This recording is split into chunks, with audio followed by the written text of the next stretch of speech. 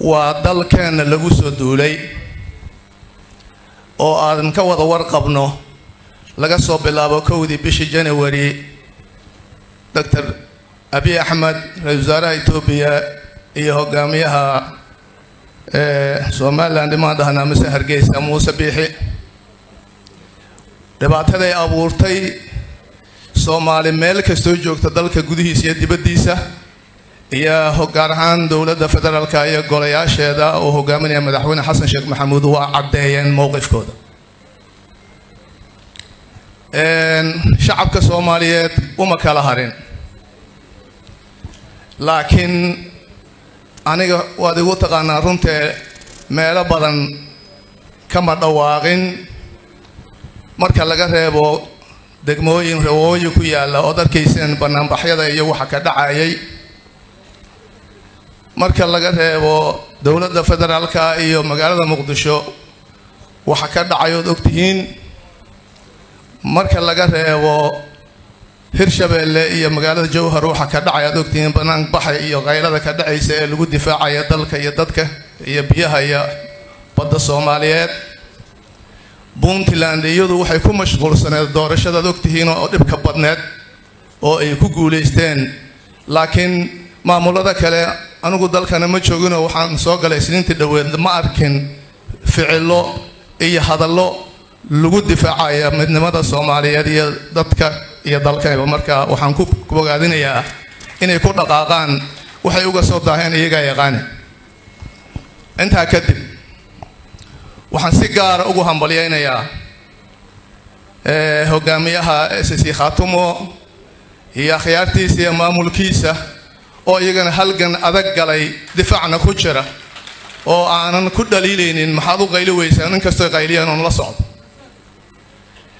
Waxaan intaas ku darayaa maanta meeshay taagan tahay waa meelaan lagu kala hari karin madax iyo shacab heer kastoo la kala yahayba.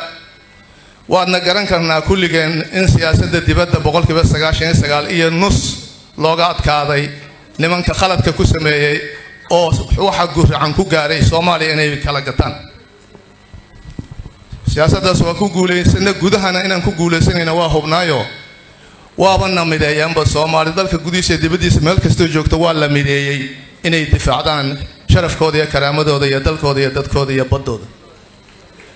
Intaas markaan ka gudbo waxaan rabaa anigu markaan aniga leeyahay dad waa iska reebay waxaan filayaa madaxweyne xasan sheekh bakudara iyo inta madax meesha fadhida inaan uga horreeyey siyaasadda. Qaar igu da'a ama igaga da-weyn waa jiri karaan laakiin odaygii buddhigga u ahay markii allaha u naxariistay madaxweyne cabdulaahi yuusuf laga soo tago ayaan ahaan qabaa. Marka war talooyin baan bixinayaa si fiican lai dhegeysto dastuurkan shalay go'aankaad maqlayseen laga gaaray. Horta marka koobaad wuxuu qur'aan maaha ee waa wax dadku sameeyey. Waa khaldanaan karyaa laakiin gadaal cajaladda markaan u celiyo ra'iisul wasaarihii xukuumaddiisu bilowday diyaarinta dastuurka federaalka soomaaliyeed ayaan ahay.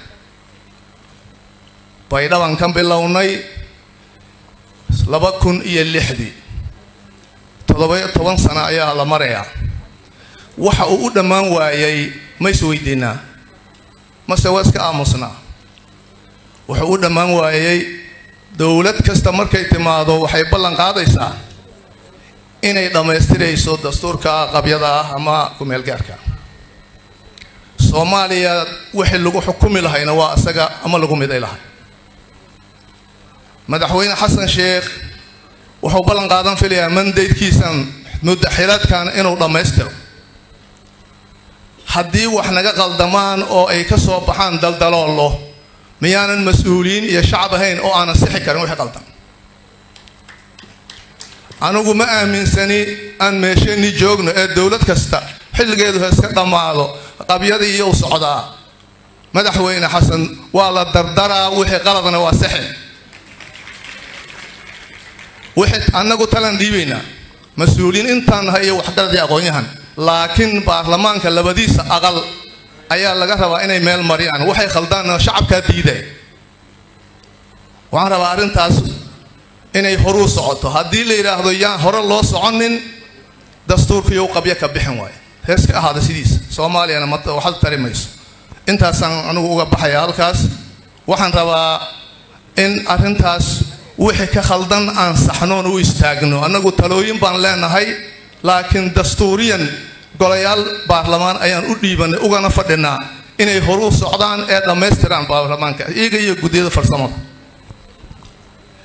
intaa kadib waxaan rabaa inaan ayido halka waxaa ka hadlay ra'iisul wasaare saacid musiibooyinka dalka ka dhacay uu sheegay iyo fatahaadaha iyo buundooyinka burburay gaar ahaan gobolka gado war soomaalidu markii wax dhacaan way isu gurma jirta waxaan markhaati ka wada ahayn meelo badan oo ay ka dhaceen musiibooyin sidii loogu gurmuday shacab iyo dowladba dalka dabadiisa iyo gudihiisa waxaan xasuusanayaa gobolka hiiraan ee beledweyne wixii ka dhacay. Waxaan xasuusanayaa puntland markay ka dhaceen musiibooyinku.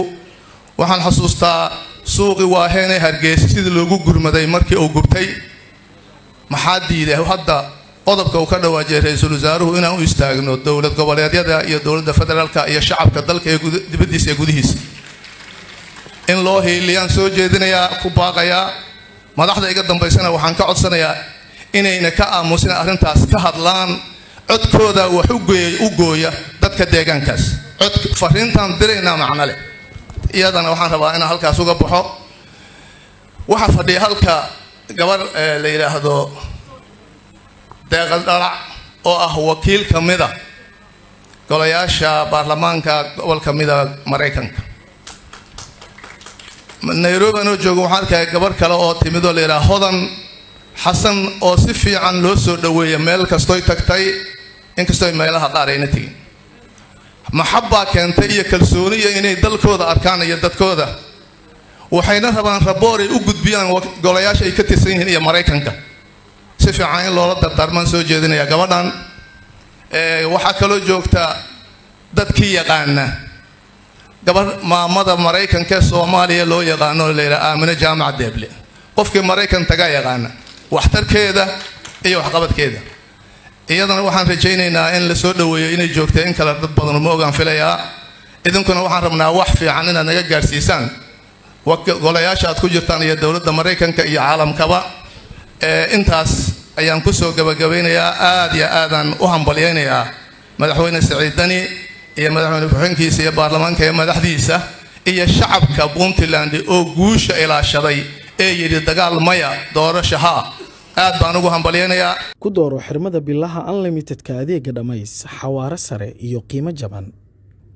Ku shuba shan iyo toban doolar oo keliya oo hel unlimited data internet iyo ku hadal aan kaa dhammaanayn muddo bil ah uga shuba io dahab koodh nambarka xidig hal eber hal afar gees